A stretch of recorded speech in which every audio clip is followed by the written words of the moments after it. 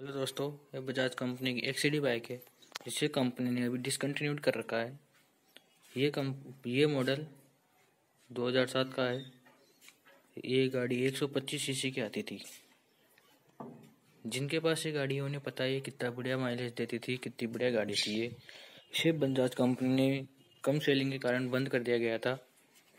ये गाड़ी पिकअप में बहुत बढ़िया थी। इसमें चार गेयर मिलते थे। इसका इंजन 125 सीसी डीटीसाई इंजन था बजाज का।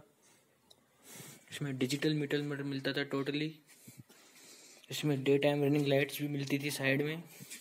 इसमें इस नीचे दो एक्स्ट्रा लाइट लगी हुई है एक्स्ट्रा ब्राइटनेस के लिए। साथ में थे, इसमें डिस्क ब्रेक अवेलेबल नहीं थे। और इसमें नाइट्रॉक्स भी अवेलेबल नहीं थे। पीछे एलईडी बाइक लगी हुई थी। इसमें सारा सारे सामान ओरिजिनल है। ये बाइक बारह साल पुरानी है और अभी भी बहुत बढ़िया चलती है।